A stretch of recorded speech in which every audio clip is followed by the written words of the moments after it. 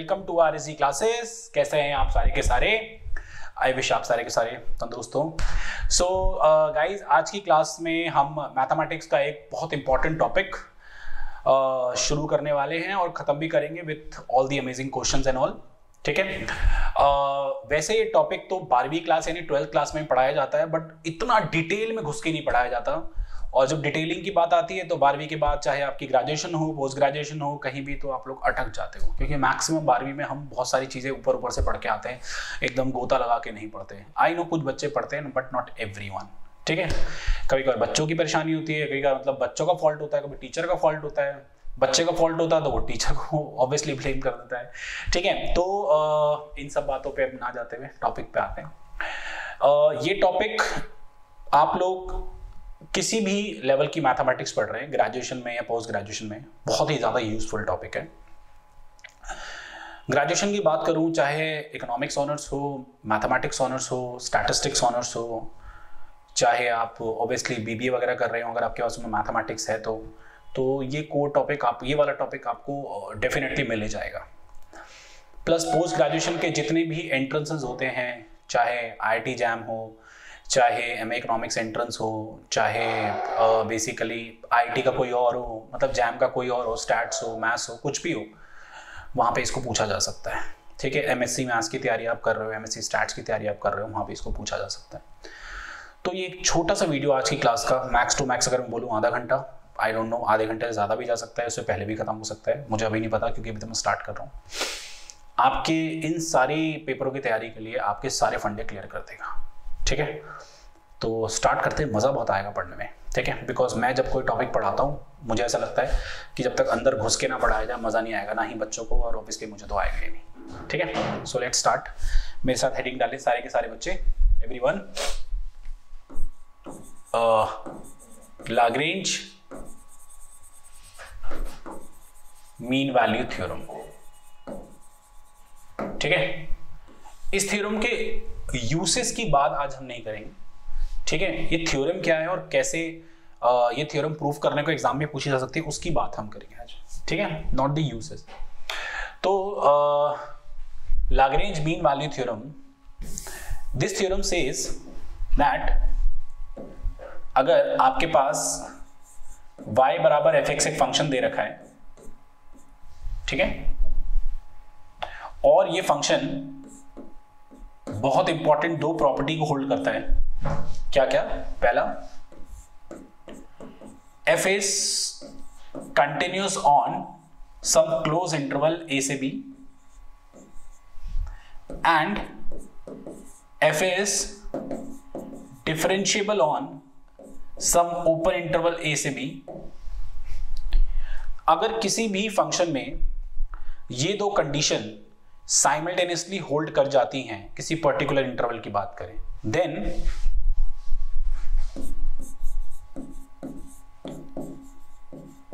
there must exist at least one C, जो कि लाई करेगा A से B के बीच में, such that f dash C is nothing but FB minus FA upon B minus A. देखो, किताबों में ना अगर किसी ने ट्वेल्थ में पढ़ी होगी तो वो इतना रट्टा मार के आ गया होगा। और थोड़ा सा उसने लिख दिया होगा, कब कंटिन्यूस होता है, कब डिफरेंशियबल होता है, ये सब वो पढ़ के आया होगा। बट बात अभी वो ट्वेल्थ में जो आपने पढ़ा है, उसकी नहीं है। बात है समझने की कि क्या है यार ये। वॉट इज़ दिस ठीक है तो मैं इसको थोड़ा सा ग्राफिकली आपको समझाऊँगा। तो आपको एक बेटर पिक्चर क्लियर होगी कि क्या ये थ्योरम कहना चाहती है। ध्यान से देखना। एवरी वन यही बनाया जाए ग्राफ क्या कहते हो? मान लो, मैंने कुछ इस तरीके का ग्राफ बनाया। ये ए है और बच्चों, ये बी है। ठीक है? This is a this is b now ये पूरा फ़ंक्शन ए से बी के बीच में इंक्लूडिंग ए बी कंटिन्यूस है और ए से बी के बीच में डिफरेंशियबल है। कुछ बच्चे कहते हैं, सर, यहाँ पे आपने क्लोज ब्रैकेट क्यों नहीं लगाया? तो आई बिलीव आप सारे बच्चे डिफरेंशियबिलिटी का मीनिंग जानते होंगे कि फ़ंक्शन कभी भी कॉर्नर पॉइंट पे डिफरेंशियबल नहीं होता। क्योंकि कॉर्नर पॉइंट पे you can have infinite number of tangent ठीक है? क्योंकि L S D R S D में से एक ही एग्जिस्ट करेगा दैट्स वाई ऑल्सो ठीक है? अच्छा अब ये फ़ंक्शन पूरी तरह कंटिन्यूस भी है, पूरी तरह डिफरेंशियबल भी है। देखो, चुप, मज़ा आने वाला है ठीक है? ध्यान से देखना। क्या करो? इसमें मैंने इस कॉर्नर पॉइंट को ऐड कर दिया। मतलब इन दोनों को मैंने जोड़ दिया। ये जो मैंने बनाया है ग्राफ ये y बराबर एफ़ एक्स का ग्राफ है, जो कि कंटिन्यूस और डिफरेंशियबल है। Okay now please have a look इसके बाद इसमें क्या बोला गया? कि भाई, जब फ़ंक्शन कंटिन्यूस डिफरेंशियबल होगा तो ऐसा तो होगा ही होगा। कम से कम एक ऐसा सी आएगा such that F dash C is equal to F B minus F A upon B minus इस पर मैं बाद में आता हूँ, पहले मुझे बताओ। जब मैं कॉर्नर को जोड़ के एक लाइन सेगमेंट बनाऊँगा तो डेफिनेटली ये लाइन सेगमेंट पे कोई ना कोई ऐसी लाइन होगी on the curve tangent line I can say that कोई ना कोई ऐसी टेंजेंट लाइन होगी बेटा, ठीक है? जो टेंजेंट लाइन इस लाइन के पैरलर होगी। ठीक है? हो सकती है। समवेयर हेयर मतलब अगर आपको पैरेलल नज़र आ रही है तो आप बना लेना। ठीक है? मेरी थोड़ी ड्राइंग खराब है। फाइन ये ये पैरेलल है। जिस एक्स पे ये टेंजेंट मैंने खींचा, उस एक्स को सी मान लिया। ए और बी के बीच में डेफिनेटली कम से कम कोई ऐसा एक सी लाई करेगा, जिस सी पे फ़ंक्शन पे अगर कर्व पे टेंजेंट मारा जाएगा, वो टेंजेंट डेफिनेटली कॉर्नर वाली लाइन के पैरेलल होगा हमेशा ऐसा एग्जिस्ट करेगा जब कंटिन्यूस और डिफरेंशियबल दोनों हैं तो। ठीक है? तो अगर मैं बात करूँ एफ़ एस कंटिन्यूस हो गया एफ़ एस डिफरेंशियबल हो गया and there must exist at least one c ये जो कंडीशन ये कैसे लिखी? ये बड़ा सिंपल है बच्चों। एक बात बताओ जब ये दोनों लाइन आपस में पैरेलल है तो स्लोप इक्वल होती है। ठीक है? अगर मैं बात करूँ, ये टेंजेंट लाइन है एट सी तो इसकी स्लोप क्या होगी? स्लोप ऑफ़ टेंजेंट क्या होता है? D by d x which is f dash c मैंने क्या बताया, अगर बेटा ये दोनों लाइन आपस में पैरेलल है तो इन दोनों की स्लोप इक्वल होगी। स्लोप ऑफ़ टेंजेंट लाइन क्या होगी डेफिनेटली डेरिवेटिव किया फ़ंक्शन का at x equal to c which is this only what about slope of this line as you can see this is a corner point a इस पे Y F of a है and this is B इस पे Y F of B है बेटा।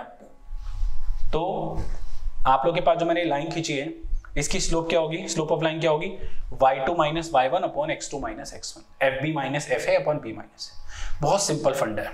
अगर कोई function पूरी तरह कंटिन्यूस डिफरेंशियल है किसी इंटरवल के अंदर तो डेफिनेटली उनके कॉर्नर को जोड़ के जो लाइन सेगमेंट बनेगी, वो लाइन सेगमेंट ऐसा कोई टेंजेंट डेफिनेटली अगर करेगा ही करेगा ऑन दी कर्व जिसपे वो पैरेलल होगी। That's all this is all about Rolle's theorem sorry mean value theorem Rolle's theorem भी है, अभी आने वाली है।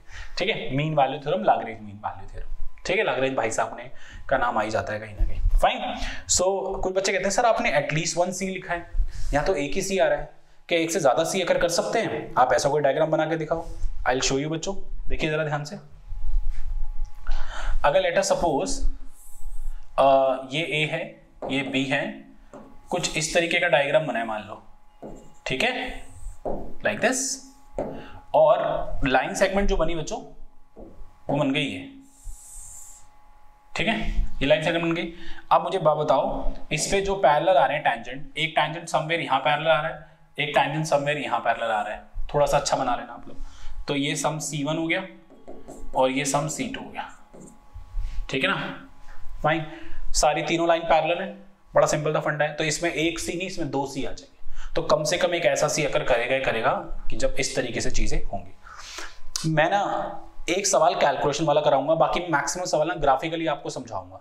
ग्राफिकली समझाना थोड़ा ज़्यादा बेटर रहता है। Uh, ऐसे न्यूमेरिकली पेपर में ज़्यादा पूछा जाता है बट ग्राफिकली आपको मैं ज़्यादा क्लियर करूँगा समझा के ठीक है? न्यूमेरिकल एक बहुत है उसके बाद आप कर लोगे छोटे बच्चे होनी मैक्सिमम ग्रेजुएशन वाले या ट्वेल्थ वाले बच्चे वीडियो देख रहे हो पोस्ट ग्रेजुएशन वाले तो तुम लोग को कैलकुलेशन कर लोगे। That's not a big deal derivative सबको आना चाहिए बेसिक ठीक है? बस और कुछ नहीं। एंड उसके अलावा लास्ट में जब ये क्लास खत्म मतलब लास्ट के दस मिनट में ऐसा धमाका क्वेश्चन कराऊँगा ना मज़ा आ जाएगा तुम लोगों कसम से। ठीक है? सारे रुक के जाना।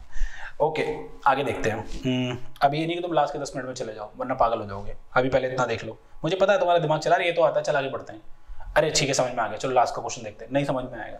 ठीक है? मैं प्रे करूँगा तो मैं ना समझ में आया जब तक तुम पूरी नहीं देखोगे। ठीक है? पूरी देखो वीडियो आगे देखो please okay so I have I have a questions with me मैंने कुछ क्वेश्चन बेसिकली मेरे पास हैं कुछ इस तरीके के ये रहे। ठीक है? You can see uh, verify mean value theorem for the following and find out all the values of c that satisfy the conclusion theorem c भी निकालना basically so uh, पहला क्वेश्चन है fx equal to x square one से two ठीक है पहला question है बेटा fx equal to x square और x जो है वो है वन से टू ठीक है एफ़ एक्स एक्स स्क्वायर और एक्स जो है वन से टू अब सबसे पहले तो ये चेक करो कि वन से टू के बीच ये कंटिन्यूस है या डिफरेंशियबल है नहीं। अच्छा ये पूरा का पूरा पॉलिनोमियल फ़ंक्शन है? ये पूरा का पूरा पॉलिनोमियल फ़ंक्शन है, ठीक है? पॉलिनोमियल फ़ंक्शन की डोमेन क्या होती है? ऑल आर तो अगर बच्चों, और अपनी डोमेन पे फ़ंक्शन हमेशा क्या होता है? कंटिन्यूस होता है। तो बच्चों, अगर फ़ंक्शन आर पे कंटिन्यूस है मतलब आर इसकी डोमेन है तो ये भी तो इसकी डोमेन होगी। तो आप इसमें ऐसे लिख सकते हो since it is polynomial polynomial function her R पे डिफरेंशियबल भी होता है और कंटिन्यूस भी होता है। Hence it is continuous on one से टू के बीच। Second it is differentiable on operator ठीक है? फाइन फिर वही लाइन लिखे वही लाइन लिखेंगे at least one c belongs to one से टू के बीच such that f dash c is equal to f two minus f one upon two minus one क्योंकि बच्चों ए वन है और बी टू है, ठीक है? एफ़ डैश एक्स कितना है आप लोगों के पास? एक क्वेश्चन में बहुत सिस्टमैटिकली करा रहा हूँ आपको टू एक्स तो एफ़ डैश सी कितना हो जाएगा आपके पास? टू सी इसे मैं अगर इक्वेशन वन दू तो in equation one f dash c two c f two कितना है बेटा मेरे पास? एफ़ टू टू डालो इसमें. टू का square four f one one और two minus two c is equal to आ गया कितना? थ्री और सी आ गया वन पॉइंट फाइव ध्यान देना, ये वेरीफाई तब होगी जो सी आ रहा है वो ए और बी के बीच में लाई करना चाहिए. ठीक है? फाइन अगर आप इसको थोड़ा सा डायग्रामेटिकली देखना चाहते हो गाइस तो डायग्रामेटिकली देख लो। आप सबको पता है एक्स स्क्वायर का डायग्राम ऐसा होता है। अगर आप देखोगे ये वन है और ये टू है तो इनको जोड़ के ये रहा लाइन सेगमेंट और ये टैंजेंट इस पे पैरेलल आ रहा है और ये 1.5 है। ठीक है तो this is the way to solve the question तो ये आसान है सॉल्व करना ये आप कर सकते हो यही पैटर्न आपको ऑलमोस्ट हर जगह फॉलो करना। बस जब आप कंटिन्यूस और डिफरेंशिएबल लिखोगे तो आप प्लीज़ रीजन ज़रूर दे देना कि तुम इसे कंटिन्यूस डिफरेंशिएबल इसके अंदर क्यों मान रहे हो। ठीक है? जैसे आप लोगों को अगर डोमेन रेंज निकालने आती है कॉन्टिन्यूटी पता है कैसे चेक करते हैं डिफरेंशियबिलिटी पता है कैसे चेक करते हैं तो आप इस तरीके से उसको कर लेना। ठीक है बच्चों? आगे देखते हैं। Hmm, आगे क्या करें?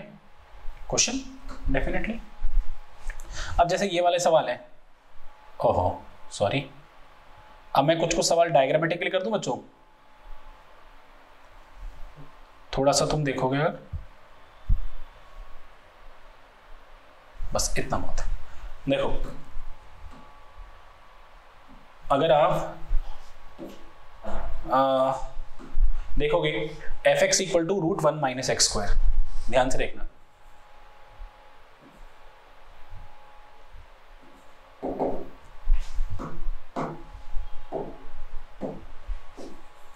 Y is equal to root one minus x square यही है मेरे पास? अब इसमें एल एम होल्ड मतलब Lagrange mean value theorem hold करानी है। सबसे पहले तो ये वन माइनस एक्स स्क्वायर है। मैं तुम्हें बता रहा हूँ, जब तुम इसे सॉल्व करोगे, तुम इसको क्यों लिखोगे? कि ये इस इंटरवल में कंटिन्यूस है डिफरेंशियबल है? अगर आप तुम इस फ़ंक्शन की डोमेन निकालोगे तो आप सबको पता है? ये होता है one minus x square greater than zero तो इससे इंटरवल जो आ जाएँगे आई थिंक माइनस वन से वन आ जाएँगे। ये इस फ़ंक्शन की डोमेन है। फ़ंक्शन अपनी डोमेन में हमेशा कंटिन्यूस होता है। क्या बोल रहा हूँ मैं? फ़ंक्शन अपनी डोमेन में हमेशा कंटिन्यूस होता है। तो तुम इसको इस तरीके से कर सकते हो कि अगर इसकी डोमेन ये है और हमें इसमें चेक करना है तो zero comma one is the subset of this तो if the function continuous is minus one से one then it is also continuous in between zero to one भाई, अगर माइनस वन से वन के बीच including minus one and one function continuous है तो उसके बीच के इंटरवल में तो कंटिन्यूस होगा ना। एक इंटरवल के अंदर अगर फ़ंक्शन कंटिन्यूस है तो उसके बीच वाले पार्ट में भी कॉन्टिन्यूस होगा, बड़ा सिंपल पार्ट है। उसके बाद डिफरेंशियबिलिटी की बात करते हैं, ये काफ़ी बच्चों को नहीं आता। और उन्हें नहीं पता, उन्हें लगता है L S D R S D से करना है डिफरेंशियबिलिटी बट अगर कोई सिंगल फ़ंक्शन होता है बच्चों तो उसकी डिफरेंशियबिलिटी चेक करने का रीजन क्या होता है? उसकी डिफरेंशियबिलिटी ऐसे चेक करते हैं, आप उसका डेरिवेटिव कर लो। इसका डेरिवेटिव क्या आएगा? माइनस टू एक्स अपॉन में दिस ये आएगा। तो जैसे फ़ंक्शन कंटिन्यूस कहाँ होता है? वो एक्स जहाँ पे फ़ंक्शन डिफाइंड हो मतलब फ़ंक्शन के डोमेन ऐसे ही फ़ंक्शन डिफरेंशिएबल कहाँ होता है? वो x जिस पे डेरिवेटिव डिफाइंड हो मतलब डेरिवेटिव मतलब f डैश x की domain so f dash x की डोमेन कैसे आएगी? डिनोमिनेटर uh, वाला जो टर्म है पॉजिटिव होना चाहिए स्क्वायर रूट में दे रखा है इसलिए। तो इसकी डोमेन आएगी माइनस वन से वन तो इसका मतलब डेरिवेटिव इसके बीच में मतलब डेरिवेटिव इसके बीच में डिफाइंड है। डेरिवेटिव इसके बीच में डिफाइंड है। इसका मतलब क्या है? फ़ंक्शन इसके बीच में डिफरेंशिएबल है। जिन एक्स से डेरिवेटिव डिफाइंड होता है बच्चों, या मैं ऐसे बोलूँ, वो एक्स जो कि डेरिवेटिव की डोमेन होती है बेसिकली आप चाहो तो दोबारा इसको सुन लेना। एक्स की वो वैल्यूज़ जो डेरिवेटिव्स की डोमेन होती है, उन एक्स की वैल्यू पे फ़ंक्शन डिफरेंशिएबल कहलाता है। ठीक है? तो इस पे फ़ंक्शन डिफरेंशिएबल कहलाएगा।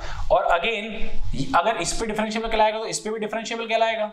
ठीक है? बट जब डिफरेंशिएबल इस पे लोगे तो zero comma one open bracket में लेना, क्योंकि हमें डायग्राम सिर्फ़ ज़ीरो वन से बनाना है। तो इसका मतलब क्या हो गया? वो कॉर्नर में काउंट हो जाएँगे। ठीक है? तो आप ऐसे इसमें लिख सकते हो since the domain of the function is minus one से वन ठीक है? So, function is continuous on minus 1 से 1 hence it is also continuous in 0 to 1 because 0 से 1 is the subset of 0 0 1 interval is the subset of minus 1 1 वाले interval के। Similarly, differentiable कैसे बोलोगे? function is differentiable on minus 1 say 1 because at in between minus 1 say 1 function derivative is defined. Hence function is differentiable in between minus 1 say 1 and it is also differentiable in between 0 to 1 because 0 say 1 is a subset of minus 1 say 1 ये लिखोगे आप direct differentiability और continuity लिख के मत आ जाना please reason explain करना। अगर एग्जामिनर तुमसे बोलता है पूरा सॉल्व करके दिखाओ जो कि चांसेस है ऐसे ही पूछेगा। ऑब्जेक्टिव बेस्ड सवालों में इतनी डिटेल डिटेलिंग इनकी ज़रूरत नहीं पड़ेगी बट स्टिल ठीक है? आप लोगों को पता होना चाहिए। तो कंटिन्यूस डिफरेंशियबल हो गया। उसके बाद हम अपनी एफ़ डैश सी वाली कंडीशन देखेंगे। सो एफ़ डैश सी वाली कंडीशन के लिए आ, बड़ा सिंपल है ये एफ़ डैश एक्स है तो एफ़ डैश सी कितना हो जाएगा? Minus c root one minus c square f b, f one. F one कितना है? ज़ीरो। एफ़ ज़ीरो कितना है? वन। B minus a. ठीक है? तो minus c, root one minus c square is equal to one. Squaring कर लोगे तो ये बच जाएगा। Two c square equal to one. C आ जाएगा plus minus one by root two. अच्छा plus minus one by root two में से हमें वो लेना है जो डोमेन के अंदर लाई करेगा। तो one by root two domain के अंदर आएगा। ज़ीरो से वन के बीच में तो सी अगर इसके बीच में लाई कर रहा है हेंस एलएमवी यानी Lagrange mean value theorem is verified ठीक है? एक क्वेश्चन मैंने तुम्हें बहुत डिटेलिंग में समझा दिया, अब तुम्हें कॉन्टिन्यूटी डिफरेंशियबिलिटी नहीं आता तो मैं क्या बोलूँ?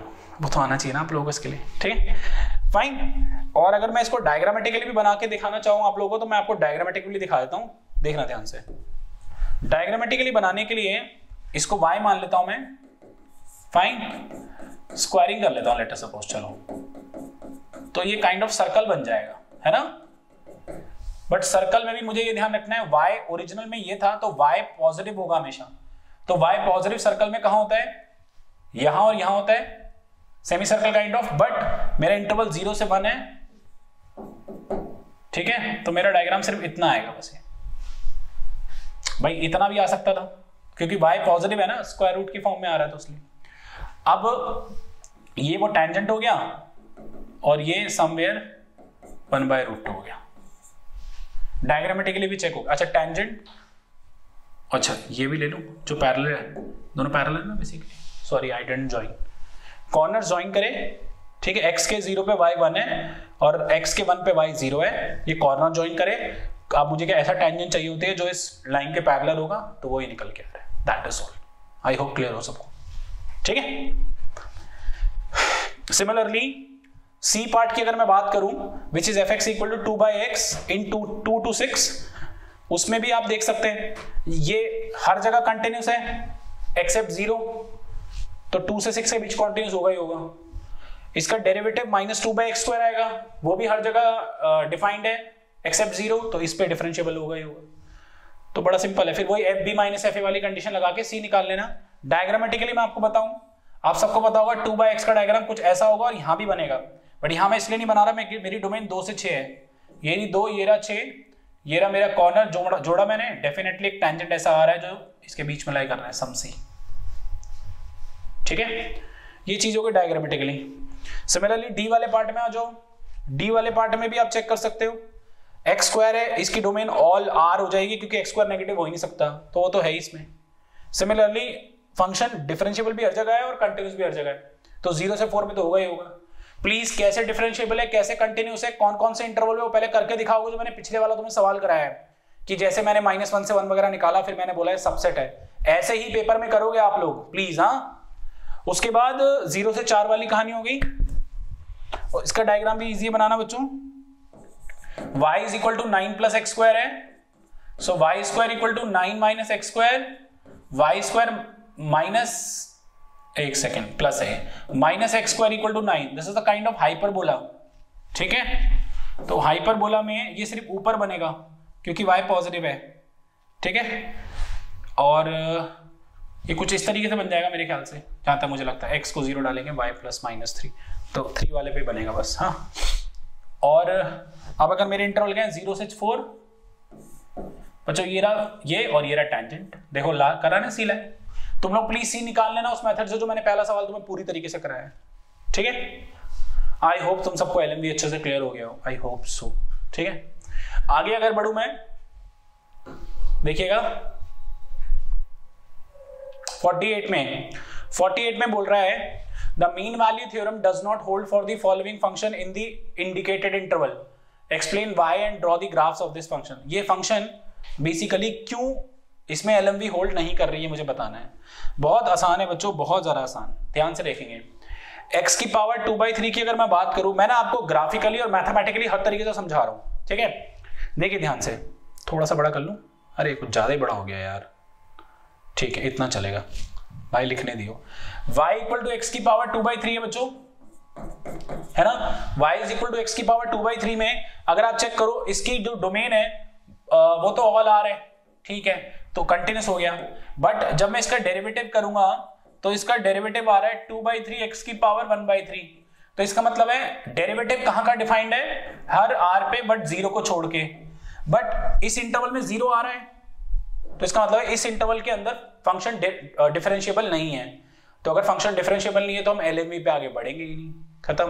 बोल देंगे since function is not differentiable hence L does not hold that's all बाकी ग्राफिकली अगर आप चेक करें तो ग्राफ एक्स की पार्ट टू बाई थ्री का कुछ इस तरीके से होता है। ऐसा काइंड ऑफ़ चिड़िया टाइप ये माइनस वन हो गया, ये वन हो गया। ये मैंने जोड़ा इसको।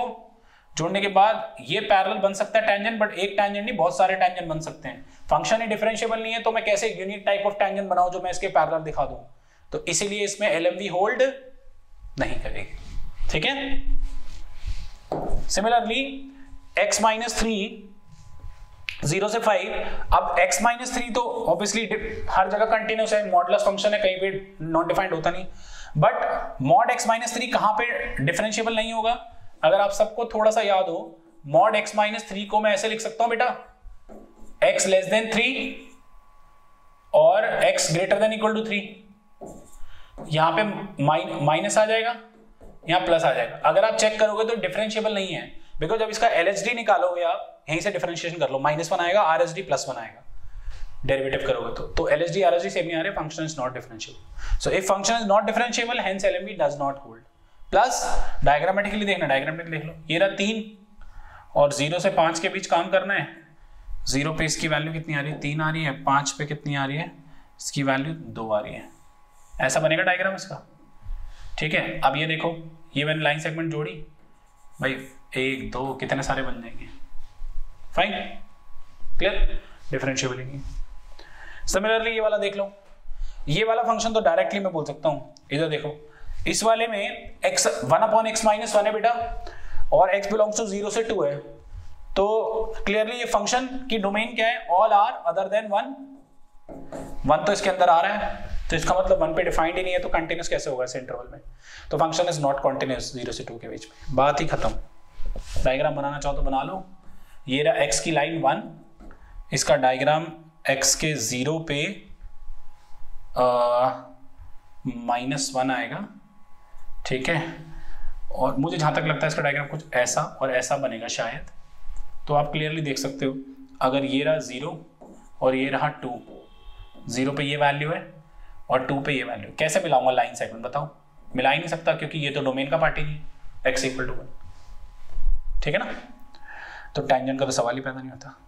Fine this is also same x की पावर वन बाई थ्री हर जगह कंटिन्यूस बट डेरिवेटिव करोगे तो ज़ीरो पे डिफाइंड नहीं आएगा एंड ज़ीरो पे डिफाइंड नहीं आएगा तो फ़ंक्शन डिफरेंशियल इसका डायग्राम के लिए आपको मैक्सिमम मैंने आना चाहिए बहुत अच्छे से, जिसके स्टेप्स होते हैं डायग्राम बनाने के लिए। ठीक है? फाइन 49 भी इजी आप लोग खुद कर सकते हो। इसमें भी एल चेक करनी है आप लोग। ओके इसके बाद आगे बढ़ते हैं। बच्चों, पता क्या है? एल के बाद नेक्स्ट एक थ्योरम हमसे बोलते हैं। रोल्स थ्योरम ठीक है? रोल्स थ्योरम सो बच्चों रोल्स थ्योरम ना नॉर्मली एक नाम बनाया हुआ है।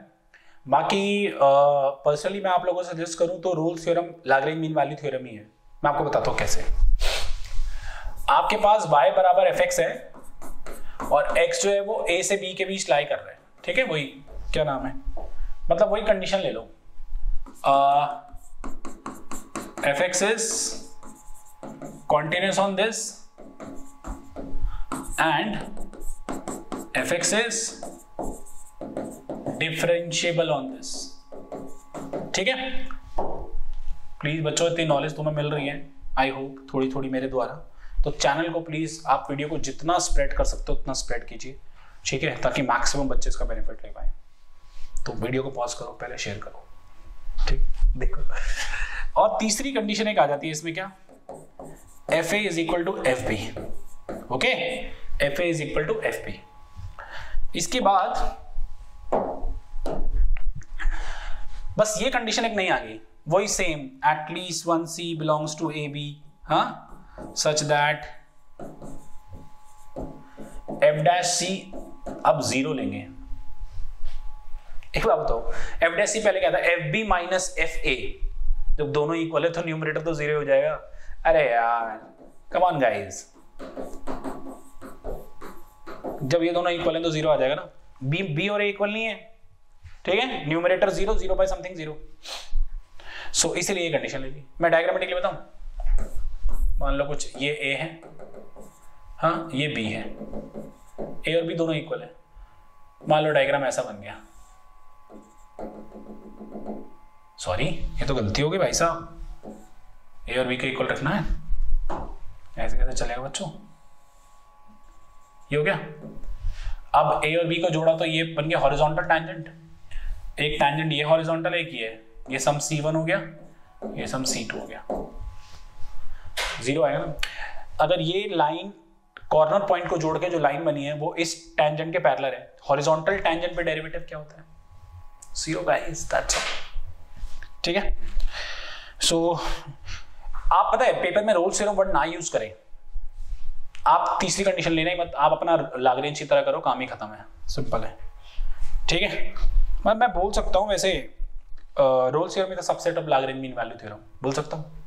वन ऑफ़ दी पार्ट तो है उसका, और है क्या? कुछ खास तो है। ठीक है? अब मैं कराने वाला तुम्हें बहुत ज़बरदस्त सवाल। भाई सब मज़ा आएगा देखो करने। ठीक है? पहले इतना अच्छे से लिखो। चलो बच्चों स्टार्ट करते हैं।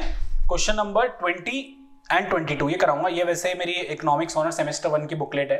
उसमें कुछ पास्ट डेज़ में क्वेश्चन आए हुए क्वेश्चन है। बट पर्सनली स्पीकिंग ये बाकी जगह भी बहुत ज़्यादा हेल्पफुल होंगे। बढ़िया, ज़बरदस्त सवाल है। अभी तक बहुत डायरेक्ट क्वेश्चन कर ले लाग रेंज के रूल्स के।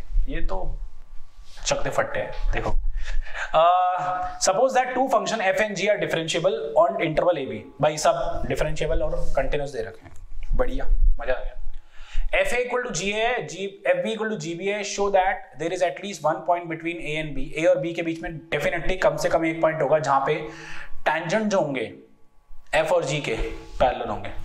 अच्छा जी बोर्ड पे करेंगे तमीज से, ठीक है? देखो सबसे पहले आ, क्या गिवन है?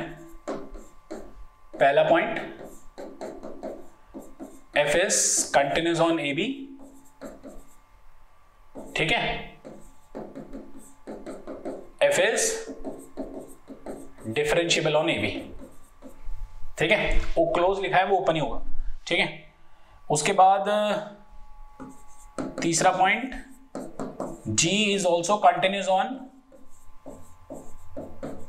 A B चौथा G is differentiable on A B ठीक है? फाइन आगे F equal to G A दे रखा है और F B equal to G B दे रखा है। ये क्वेश्चन में गिवन है। थोड़ा सा दिमाग लगाओ, इन सबको यूज़ करके वट बी बेसिकली इसने बोला टेंजेंट इक्वल होना चाहिए। तो जब फ़ंक्शन कंटिन्यूस डिफरेंशिएबल हो और टेंजेंसी की बात करें तो दिमाग में क्या आती है? Lagrange mean value theorem simple तो इसमें जो एल होल्ड करेगी, पूरी अंग्रेज़ी लिख देना। सिंस एटलीस्ट वन सी फलाना डिमकाना such that F dash C equal to this ठीक है? So at least one C A B such that f dash c is equal to F B minus F A upon B minus A इसको equation number one दे दो। ठीक है? Consider this as equation number one उसके बाद आते हैं इस पे। इसमें भी एटलीस्ट वन सी ना देके डी दे दो। ठीक है? Such that f dash d equal to fb minus fa upon b minus a. Second. Clear है? Fine okay I am sorry अब मिस्टेक जी है. आदत हो गई ना एफ़ की? G dash D equal to G B minus G A upon B minus भाई साहब, मुझसे भी गलती हो सकती है। ठीक है? ज़्यादा चौड़े मत हो जाओ, ठीक है? देख लो। फाइन इसे क्वेश्चन नंबर टू दे दो। अच्छा using this in equation one what happen F dash C अगर मैं एफ़ बी की जगह जी बी डाल दूँ, और एफ़ ए की जगह जी ए डाल दूँ,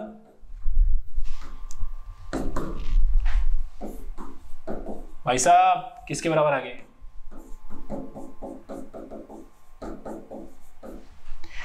अब अगर दो फ़ंक्शन के डेरिवेटिव किसी पॉइंट पे इक्वल हो रहे हैं, इसका मतलब क्या है? उनके टेंजेंट आपस में पैरेलल है। कह रहा है, कम से कम एक ऐसा पॉइंट है। तो ये सी का एक वैल्यू है क्या? कम से कम एक सी यहाँ पे दो तीन सी भी हो सकते हैं, यहाँ पे दो तीन डी भी हो सकते हैं, एक एक भी हो सकता है। हो गया derivatives at x equal to c of f and derivative at x equal to d of g equal means, the tangent are parallel. At x equal to c for f and at x equal to d for d, at x equal to d for g. And where c and d are not unique मतलब they can be more than one. Hence proved. यार ऐसी छोटा सा एक example अगर मैं ऐसी लेना चाहूँ मतलब ए और बी के बीच में अगर मैं दोनों को बनाना चाहूँ, एक ये बनाया मान लो, और एक मान लो ऐसा बनाया, कुछ इस तरीके के बने तो देखो ना ये पैरेलल आ सकते हैं ना टेंजेंट ये एफ़ का डायग्राम हो गया जी का हो गया. बहुत सारी चीज़ें बन सकती हैं थोड़ा बिग डील ठीक है? I hope this question is clear to you अगला क्वेश्चन ज़बरदस्त है। ज़बरदस्त। मतलब मुझे बहुत अच्छा लगा सवाल वाला। पहले पढ़ा दू हमको? ठीक है? आसपास की जितनी डिस्टर्बेंस है उसको हटा दो। फ़ोन रख दो साइलेंट पे। ठीक है? या स्विच ऑफ़ कर दो। मम्मी पापा आसपास घूम रहे हटा दो। बहुत ध्यान से देखना वाला क्वेश्चन आप लोग ऐसे तो रिकॉर्डिंग में दोबारा देख लो बट पहली बारी में जो मैं एंथो लेके आऊँगा ना, मज़ा आ जाएगा तुम लोग को। देखो। कहा गया भाई साहब ये कह रहा given that F double dash is continuous on A B second order derivative continuous दे रखा है and F has three zeros in the interval इस इंटर इसके बीच में आ, तीन पॉइंट्स लाई करेंगे जिसमें फ़ंक्शन ज़ीरो आ रहा होगा। Show that F double dash has at least one zero in A B नहीं आया ना समझ में? तभी तो करा रहा हूँ। देखो ध्यान से। ओके फ्रेश पेज देखिएगा F double dash is continuous okay F double dash is continuous on A B बच्चों, एक बात सुनो ध्यान से। अगर डेरिवेटिव इस इंटरवल में, सेकेंड ऑर्डर डेरिवेटिव इस इंटरवल में। अच्छा उसके अलावा क्या बोला भाई let alpha one alpha two alpha three like between this where F alpha one and please अपने आप ही, तीनों अलग अलग होंगे। ठीक है? ऐसे मैंने ले लिया। F alpha one F alpha two F alpha three is equal to कह रहा है इस इंटरवल में फ़ंक्शन के तीन जीरोज होंगे। मतलब तीन ऐसे एक्स होंगे जहाँ पे फ़ंक्शन की वैल्यू ज़ीरो होगी। ठीक है? ये भी मुझे गिवन है? मुझे बताना है, कम से कम एक ऐसा नंबर होगा इस इंटरवल में जिसपे सेकेंड ऑर्डर डेरिवेटिव भी ज़ीरो आ जाए। ठीक है? अब सेकेंड ऑर्डर डेरिवेटिव फ़ंक्शन पे आना है। तो पहले सेकेंड ऑर्डर डेरिवेटिव से फ़र्स्ट फ़र्स्ट ऑर्डर पे आएँगे, फिर फ़र्स्ट ऑर्डर से फ़ंक्शन पे आएँगे, ठीक है? एंटी डेरिवेटिव जैसे हम कहते हैं। प्लीज़ ध्यान से देखिए, ध्यान से देखिए। सबसे पहले ना मैं आपको थोड़ा डेरिवेटिव के, जब डेरिवेटिव कंटिन्यूस है तो उसका मतलब क्या है? जब डेरिवेटिव कंटिन्यूस होता है, इसका मतलब होता है एंटी डेरिवेटिव जो उसका है, वो डिफरेंशिएबल होगा। नहीं समझे? इधर देखो। मैंने तुम्हें एक सवाल कराया था F X root one minus X square इसकी डिफरेंशियबिलिटी चेक करने के लिए तुमने डेरिवेटिव किया यह आया। और तुमने मुझे बताया, सर, ये जो इंटरवल होंगे ना माइनस वन से वन इस पे ये डिफाइंड होगा. अगर इस इंटरवल पे ये डेरिवेटिव डिफाइंड है तो जिन एक्स पे फ़ंक्शन चाहे वो फ़ंक्शन हो डेरिवेटिव हो, कुछ भी हो, जिन एक्स पे वो डिफाइंड होता है, उन एक्स पे उसको कंटिन्यूस कहते हैं। इसका मतलब इन एक्स पे, इस इंटरवल में ये डेरिवेटिव डिफाइंड है। इसका मतलब है इस इंटरवल में ये डेरिवेटिव कंटिन्यूस है। ठीक है? अच्छा बट हमने इसकी कंटिन्यूटी भी तो गई नहीं। हम तो इसकी डिफरेंशियबिलिटी देख रहे थे भाई तो हमने क्या पाया? जिन एक्स पे डेरिवेटिव डिफाइंड आता है, उन एक्स पे उसका एंटी डेरिवेटिव यानी कि फ़ंक्शन डिफरेंशियबल कहलाता है। जिन एक्स पे डेरिवेटिव डिफाइंड आता है और जिन एक्स पे डेरिवेटिव कंटिन्यूस आता है, उन एक्स पे उसका एंटी डेरिवेटिव यानी फ़ंक्शन एंटी डेरिवेटिव समझते हो? मतलब इसका इंटीग्रेशन एफ़ एक्स होगा। डिफरेंशिएबल कहलाता है। ठीक है? नहीं समझ में आया? दोबारा सुन लो फिर। देखो आगे। इधर देखो। वेर आई वॉज़ इधर आ गया। अब F double dash is continuous on this means means what? क्या क्या पॉइंट निकले? अगर ये कंटिन्यूस है तो इसका anti derivative F double dash का एंटी डेरिवेटिव क्या होगा? F dash is differentiable on अभी फ़िलहाल मैं क्लोज ही ले रहा हूँ, बाद में मैं ओपन लगा दूँगा टेंशन ना लो। डिफरेंशियबल ऑन बोल सकता हूँ?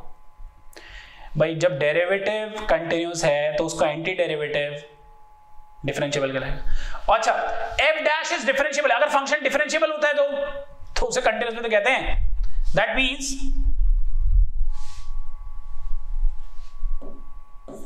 and F dash is continuous also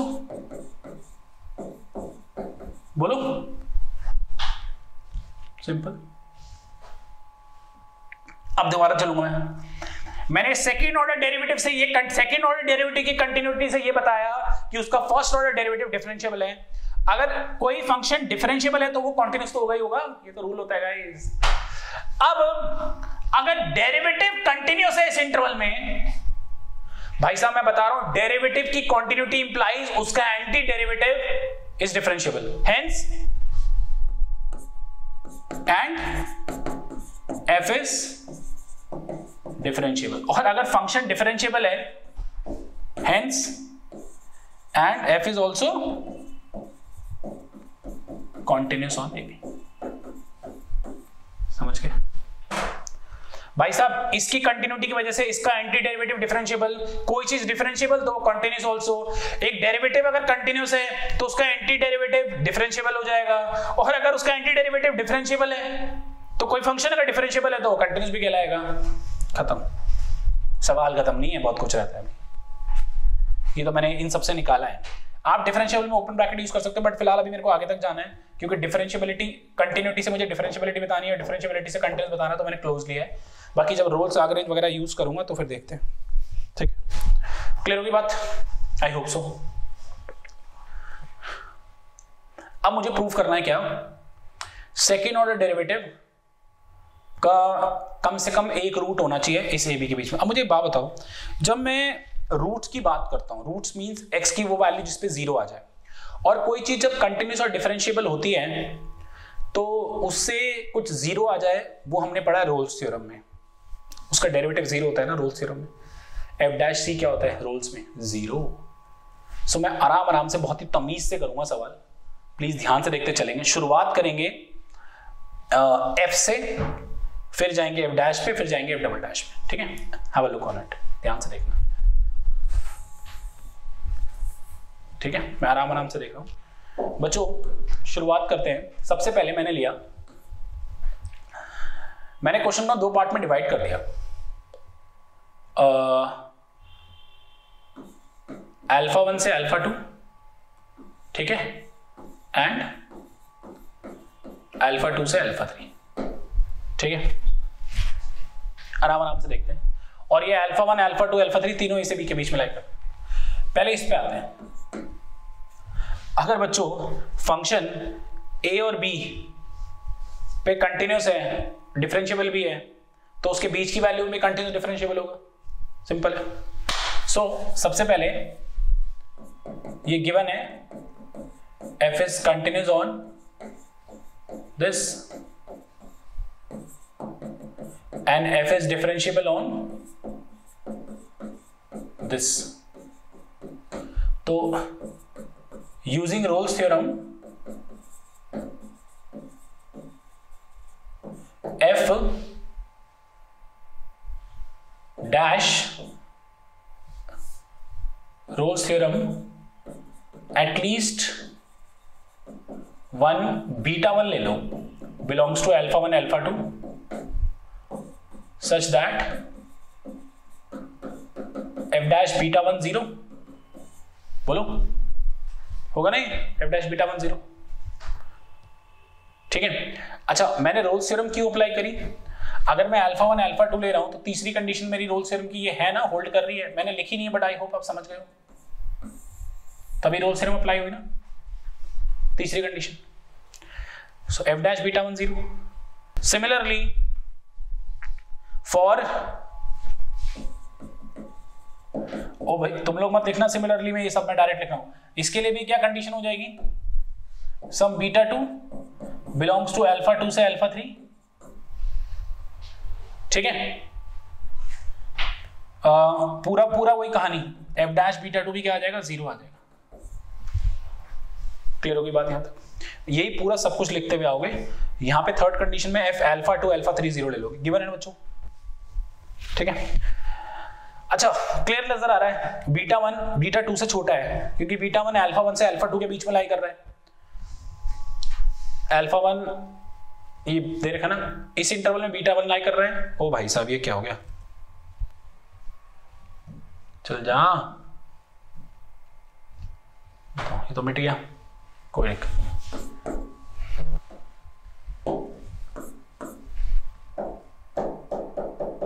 आ गया आ गया आ गया। सॉरी ठीक है? अल्फ़ा वन जो है, वो अल्फ़ा थ्री सबसे बड़ा है। मतलब इस इस इंटरवल में बीटा वन लाई कर रहा है, इस इंटरवल में बीटा टू लाई कर रहा है तो डेफिनेटली ये कंडीशन होगी। तो मेरे को एक कंडीशन और मिल गई क्या? एफ़ डैश बीटा वन भी ज़ीरो आ रहा है और एफ़ डैश बीटा टू भी ज़ीरो आ रहा है। अगर ये दोनों मेरे पास ज़ीरो आ रहे हैं, और एफ़ डैश कंटिन्यूस और डिफरेंशियबल भी है तो एफ़ डैश में भी अलग से रोल सिर्फ़ लग सकती है, ताकि हम एफ़ डबल डैश तक पहुँच पाए। आई होप समझ में आ रहा हूँ आप लोग ठीक है? बच्चों, मुझे इसलिए खुशी हो रही है कि मुझे तुम्हारे अंदर से कुछ क्यूरोसिटी हो रही हो। मुझे लग रहा है तुम सोच रहे हो यस सर कुछ होंगे। नो सर नहीं आ रहा समझ में? प्लीज़ मैं नो वालों पे ध्यान नहीं दे रहा भी वालों पे ध्यान दे रहा हूँ। नो वाले प्लीज़ रिवाइज करो। तो समझ में आएगा तुम्हें भी अच्छा सुनो। आप एफ़ डैश पे आते हैं। F dash is continuous on beta one से beta two second F dash is differentiable on beta one से beta two and F dash beta one और एफ़ डैश बीटा टू बच्चों, क्या है मेरे पास? ज़ीरो हाँ? अभी निकाला बच्चों। Hence there is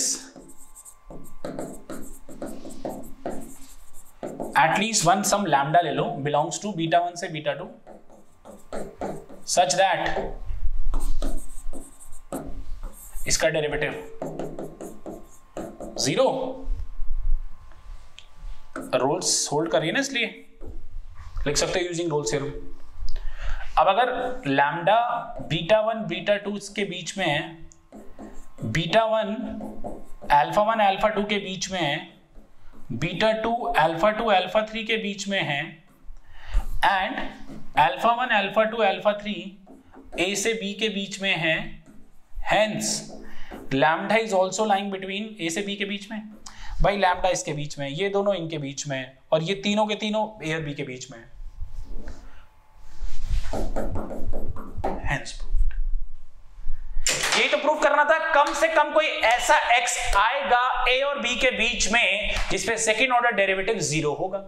रूट मतलब एक्स की वो वैल्यू जिसपे फ़ंक्शन ज़ीरो आंसर मैंने डाला हुआ रूट्स ऑफ़ पॉलिनोमियल का क्वेश्चन सॉरी वीडियो डाला हुआ यूट्यूब पे।